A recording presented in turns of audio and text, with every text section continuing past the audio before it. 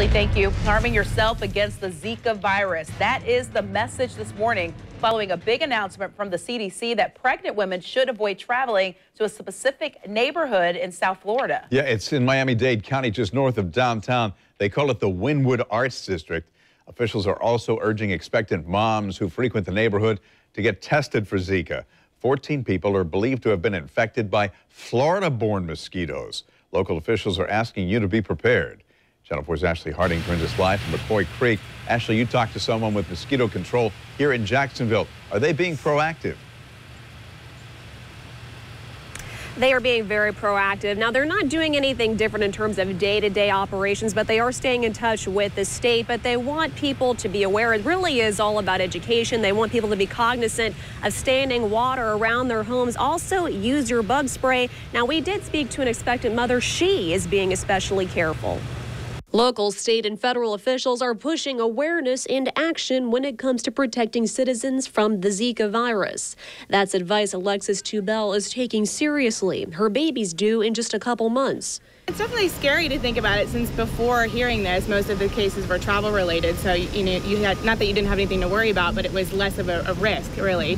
It's a lot more concerning now. John Shellhorn with Jacksonville Mosquito Control says the agency is collecting mosquitoes and sending them to the state for testing. So far, those tests have come back negative for Zika, but still, he's urging people to be aware of standing water. Ground zero for mosquito breeding. It can be anywhere near your home. Also, in terms of prevention, this particular mosquito only needs a very minute amount of water, a tablespoon of water, and they can breed. And they tend to stay very, very close to where they come off. Something else to think about travel in our area. Mosquito control workers are spraying around hotels and attractions in an effort to keep visitors safe. Richard Goldman is with St. Augustine Ponte Vedra and the Beach Convention and Visitors Bureau.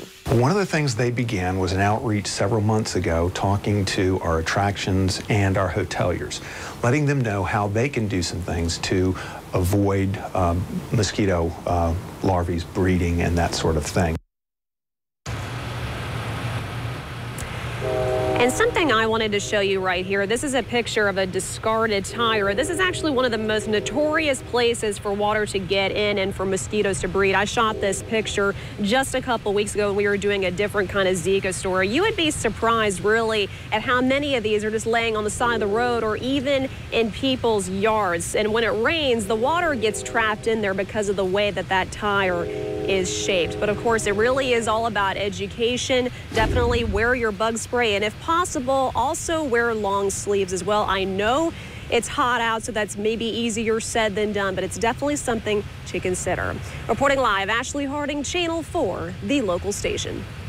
Ashley, thank you for an interactive map of the Wynwood area down in Miami-Dade County where this virus is active. Go to our web channel, news4jax.com. You'll also find a map of cities at the highest risk for a Zika epidemic. Just look inside this story on the homepage.